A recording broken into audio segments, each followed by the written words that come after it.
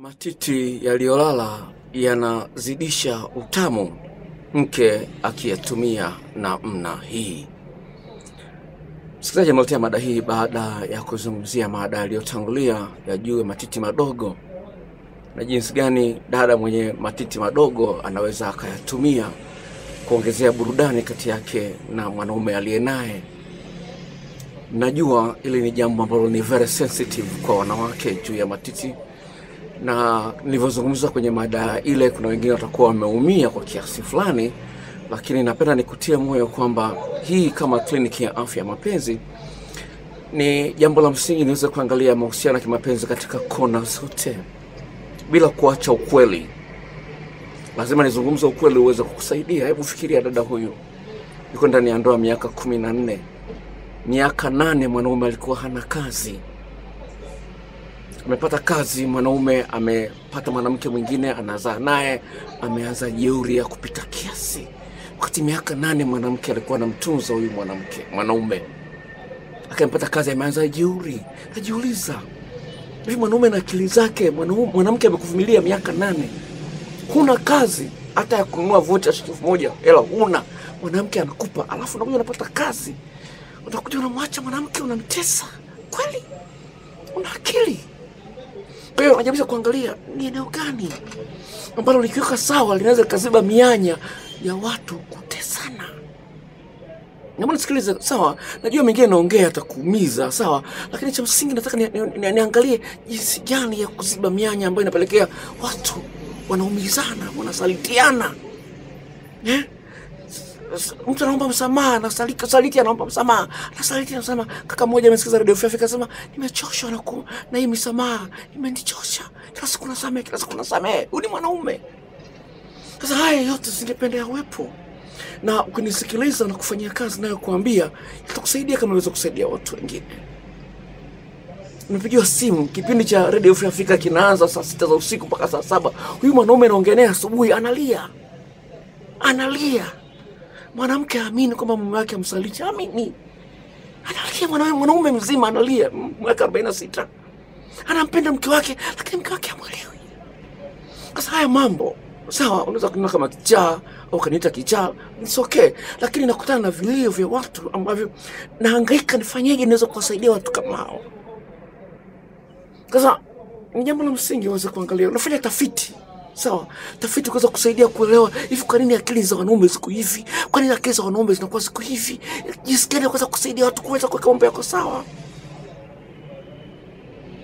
Watu wanabadilika, sawa, mashine ndio hazibadiliki, na kama mashine ikibadilika, ikibadilika inakuwa mbaya zaidi, sio nzuri zaidi. Kwa mfano, tairi ya gari ikibadilika manake inabakia bapa inakuisha mpaka ina trafiki ya kukamata tairi haina ile mistari mistari, anakuambia tairi haifai na unalipa faini shilingi elfu thelathini kwa sababu una tairi mbovu zilizokwisha. Kwa hiyo tairi haiwezi kubadilika ikawa nzuri zaidi, inaweza kubadilika ikawa mbaya zaidi, sawa. Sasa wanadamu wanaweza kubadilika akawa mzuri zaidi, wanadamu ndio wanaweza kubadilika. Sasa tuangalie jinsi gani kumsaidia mwanadamu kubadilika awe mzuri zaidi, awe mtamu zaidi kwa mwanamke aliye naye, kwa mwanaume aliye naye. Hili ni jambo la msingi lifanyike, kwa sababu wanadamu tumepewa akili za kutumia. Mwanamke mwenye matiti yaliyolala mmoja akasemaje? Akasema hivi, I don't want to be tolerated. I want someone to think I am sexy and beautiful. No one wants to be tolerated. Asema sitaki kuwa mtu wa kuvumiliwa eti kwa sababu na matiti mabaya na matiti yaliyolala. Sitaki mtu wa kuvumiliwa, nataka mtu aone kwamba mimi ni mzuri hata kama na matiti ambayo yamelala. Sio unanivumilia tu kwa sababu na matiti. No, lazima kama mwanamke atafute mbinu za kufanya matiti yake thamani yake iendelee kuwa kubwa, sio inashuka kwa sababu yamelala. Wanawake wengine wanaogopa kuvua eh, brazia, wanaogopa kwa sababu wanaona matiti yao na hali mbaya, yana sura mbaya. Ndio, kuna wanaume wajinga, sawa. Kuna wanaume wajinga tu, hata ungemsaidia vipi, wale ni mjinga tu, hawapo. Lakini kuna wanaume wenye akili, watakiona kitu kizuri ambacho unakifanya na watakiheshimu na kukithamini. Wako wanaume, nazo kesi za wanaume ambao wamebadilika baada ya kumwona mwanamke amebadilika, nazo kesi nyingi. nampigiwa simu na mtu amenisikiza saa sita za usiku Radio Afrika, asema tulikuwa tunagombana na mke wangu saa sita za usiku, lakini tumekusikiliza, umetusaidia. Radio Free Africa kipindi kinauza saa sita usiku mpaka saa saba. Huyu mtu ananipigia simu anasema tulikuwa tunagombana usiku na mke wangu, lakini baada ya kusikiliza wewe tumeweka mambo sawa vitu kama hivi vinitia moyo sawa, vinitia moyo. Kwa hiyo sitachoka kutafuta mada japokuwa nimefungua channel nyingine za Kiingereza na nini, sifanyii kazi sana, lakini na mpango sifanyia kazi zaidi, kwa sababu naona nimeshaongea mengi ya kutosha. Mtu akifuatilia na video zaidi ya elfu moja na mia nne hapa kwenye channel hii na video zaidi ya elfu moja na mia nne Kwa hiyo ukizifuatilia nyingi, utaweza kuangalia jinsi gani unaweza uka- ukaiponya ndoa yako. Sawa, sikiliza. Ni kweli wanaume tunapenda kuona matiti mazuri yaliyojaa vizuri, yameshiba. Ni kweli lakini kitu ambacho nataka nikusaidia leo ni jinsi gani kumsaidia mwanaume asifocus, asiangalie zaidi kwenye matiti ulionayo na hali yake, aangalie utamu unaompa. Hili nimeshazungumza mahali fulani, lakini eh, nimekuwa supported na mtu mmoja ambaye ana akili sawa, ana akili akaongea maneno haya ambayo nipenda nikwambia uyashike, na atakusaidia sana kumwelewa mwanaume na jinsi gani ya kumbadilisha mwanaume. Sikiliza kaka, anazungumza Nasema, I met a girl like that, yani mwenye matiti aliyolala. She was fresh out of college. And when the bra finally came off, I was kind of shocked and not that attracted to them. Sikiliza. Asema nimemkutana na mwanamke kama huyu mwenye matiti aliyolala. Alikuwa ndio ametoka mali- amemaliza chuo, yani ni binti, hata kuzaa hajazaa. Lakini matiti yake yamelala. Sawa, ametoka lakini alipoanza kutoa ile brazia yake. Sawa? nikajikuta nime nimekuwa shocked. Inakuwa- Inakuwaje binti wa miaka ishirini na tano ana matiti ya mwanamke wenye miaka themanini? Unaweza kuona, unaweza nikawa shocked. Sikiliza, but she has a great face, a great tummy, a great ass, etc. Nasema, lakini ana uso mzuri, ana tumbo zuri, ana makalio mazuri. So I just paid more attention to those parts instead. Sasa baada yake, baada ya kuona kwamba nishtuka kuna matiti aliyolala kiasi kile, mabinti wa miaka ishirini na tano. Sawa, lakini nikaanza kuangalia maeneo mengine. Sawa. Sawa, nikaanza kuangalia maeneo mengine yenye uzuri. Sawa, because anaendelea. She was good in bed I had great time with her sexually. Hata kwa sababu alikuwa anajua kwamba mwanaume ana maeneo kumi na mawili na jinsi ya kuyashika na jinsi ya kuyabonyeza na jinsi ya kuyalamba, wapi apulizie, wapi ashike katika maeneo yale kumi na tatu ambayo yana misho mingi ameshipa fahamu katika mwili wa mwanaume. Alinisisimua viaza kutosha, nikasahau kwamba ana matiti mabaya. Naomba nisikilize, anaendelea. In the heat of the moment, you can't go on analyze, sorry. In the heat of the moment, you can't go on analyzing body parts for the fan is too en- engaging to wonder on the quality of boobs she has on. Anasemaje? Anasema pale mautamu yanapokuwa makubwa, sikiliza, huna muda wa kwanza kutathimini matiti yake yakoje, makalio yake yakoje. Anasema pale utamu unapokuwa umekuja mwingi huo muda wa kwanza kuangalia sijui ana matiti yaliyokonda, sijui ana matiti membamba, sijui ana matiti madogo. Huo muda haupo wa kuanalyze, kwanza kutathmini. Huo muda haupo, unaangalia tu utamu unaingia mpaka kwenye miguu, mpaka kwenye nyayo za mguu. Sawa? Anasema ile, yani kama vile ule utamu unakuwa umeshikilia akili yako. Sawa? Anasema very engaging. Wale wanatumia gari za manyo, ukiweka gia unabadilisha gia ta, namba tatu, namba nne ndio una engage gears. Gari inaenda speed zaidi. Namba moja speed ndogo, namba mbili speed inaongezeka, namba tatu inaongezeka, namba nne zaidi, namba sita zaidi. Kwa sababu unapo engage unaweka ile gia, mtoto mautamu anavyo anavyokupapasa, anavyokunyonya, anavyokulamba, anavyokufyonza Haleluya! Sawa? Unasahau mengine yote utakumbuka mautamu tu anayokupa. Unaweza kuona jinsi gani unajaribia kwa kutokujua jinsi ya kumpa mwanaume mautamu ambayo hajawahi kukutana nayo. Sawa, naomba unielewe. Sawa, na lengo zuri la kuletea mada hii. Sawa, tafiti zinaonyesha hivi, asilimia tisini na mbili ya wanaume wanapokutana na wanawake wanaboreka na matiti yaliyolala. Sasa jinsi gani ya kumbadilisha? Sasa ndio hiyo nayokuambia, mautamu.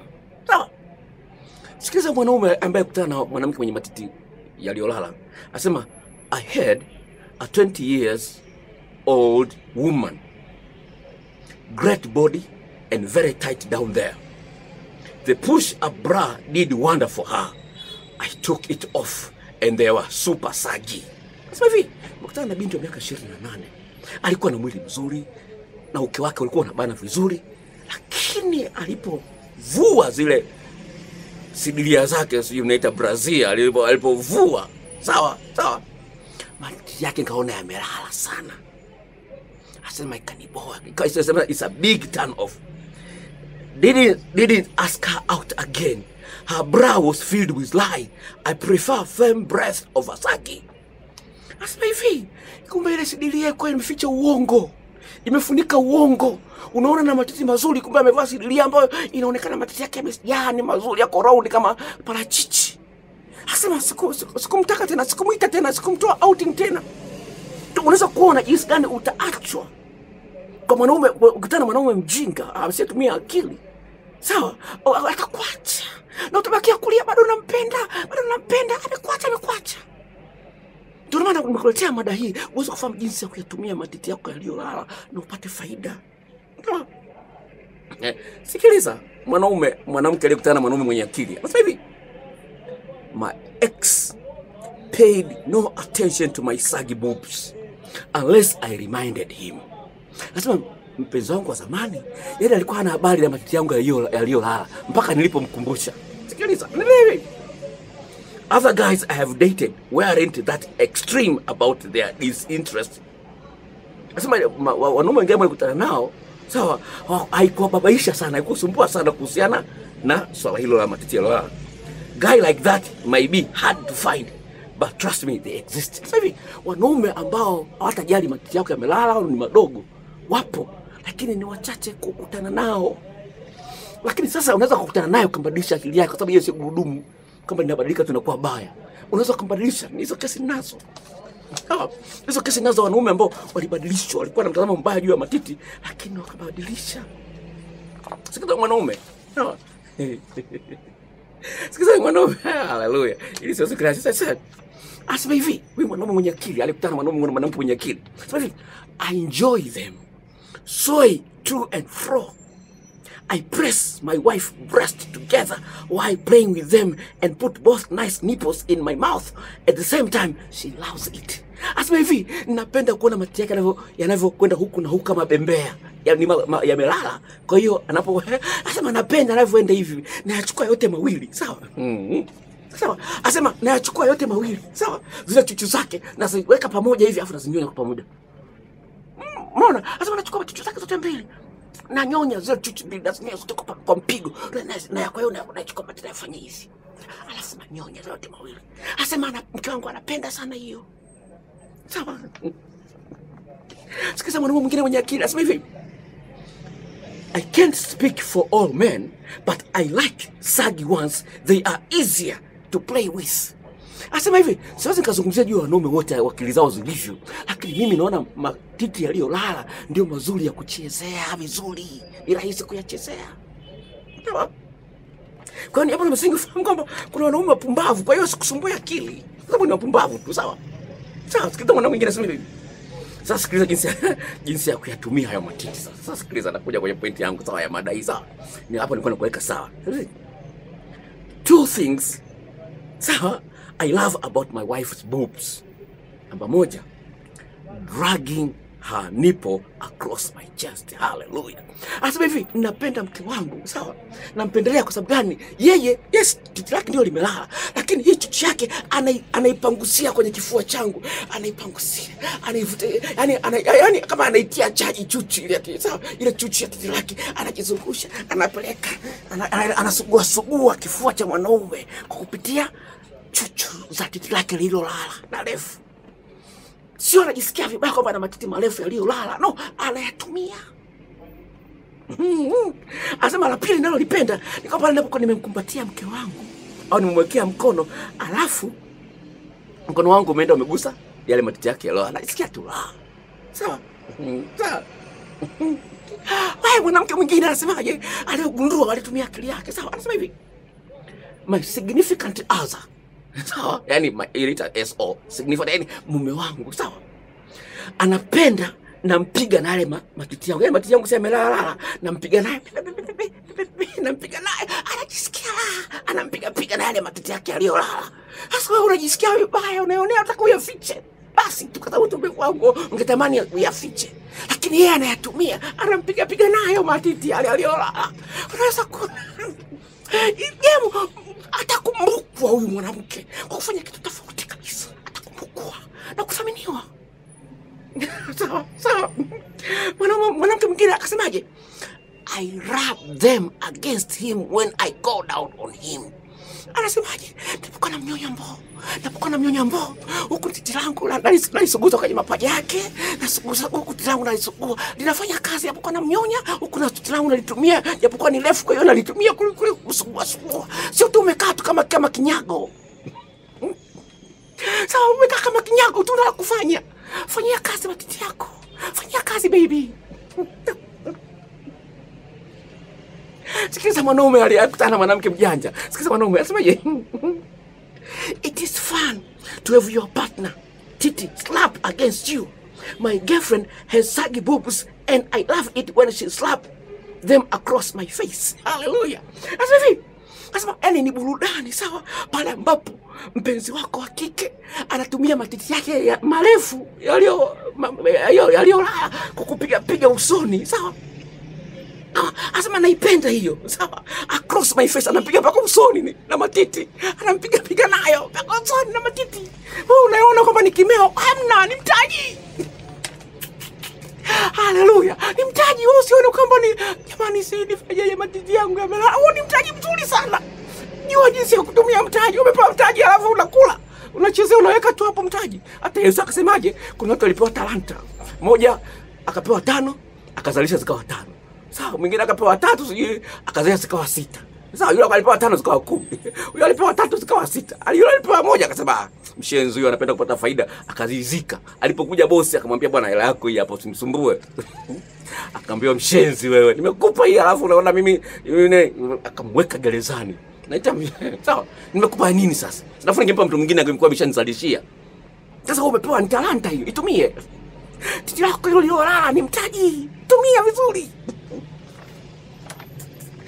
Ah, I see. Sikiliza huyu mwanaume mwingine. Ah, jamani. Yaani ujinga bwana kitu kibaya sana. Ujinga kitu kibaya. Sikiliza hii tamu kweli. I love when mwanaume. I love when she's on top. Sawa? She rubs my face with them. I hate if she tries to keep her bra on during love making. Asema hivi, napenda pale anapokuwa amepanda juu, mwanamke yuko juu, mimi niko chini. Sawa? Anani ananisugua na yale matiti yake. Sawa? Asema wanachukia anachukia pale ambapo anakuwa amevaa sidilia hataki kuitoa. Asema wanachukia anachukia akitaka hataki kuitoa sidilia, hataki kuitoa bra yake, brasi hataki kuitoa. wanachukia anachukia. Wewe unajiona kimeo, sio kimeo baby, mtamu. Sawa? Ah, sikiliza mwanaume mwingine anasema hivi, kama hivi dragging them across my body top down my ex did it. It blew my mind. Every time. Yani huyu mwanaume huyu mwanamke sawa? Anachukua chuchu anaanza kuanzia huku. Analiburuza ana, anali, eh, buruza tu kwenye mwili wa kuanzia huku mpaka kwenye mapaja kwenye ma, kote kwa analitumia titi lake. Baby nakupenda. Anali analisugua sugua titi lake tu kwenye mwili mzima. Anasugua titi mwili mzima anasugua mwili wa mwanaume kwa kutumia titi lake mwili mzima. Top to down. Haleluya sio anajiona kwamba ni kimeo. Unaweza kuona jinsi gani umejiponza. Sawa, una uchangamfu, unatabasamu kama unajiona ufai, una matiti mabaya, unapoteza uchangamfu, unatabasamu, unafanya mapenzi kama vile umelazimishwa. Jiongeze. Hmm. Ah, Sikiliza mwanaume wa mwisho katika tafiti yangu ya mada. Anasema hivi, I am more turned off by self-consciousness than I am by bodily imperfections. Asema hivi, huwa naboreka pale ambapo namuona mwanamke anakuwa makini sana juu ya mwili wake, anaona kama kasoro.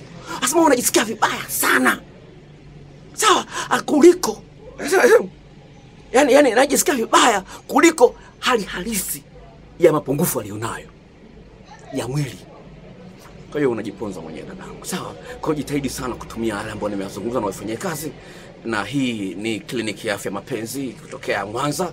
Ni Dr. Paul Nelson Mwaipopo na ukitaka ushauri unanipigia simu kwa gharama ya shilingi elfu tano tu. Kama unaangalia video hii kwa mara ya kwanza, kuna kibosi chekundu pale kimeandikwa subscribe kwa maandishi meupe, bofya uweze kuwa mwanachama wa channel hii, na Mungu akubariki na utakia maisha mema matamu. Namba yangu ya simu na kuandikia hapo chini, sawa? Utaikuta namba yangu ya simu hapo chini. Bye bye.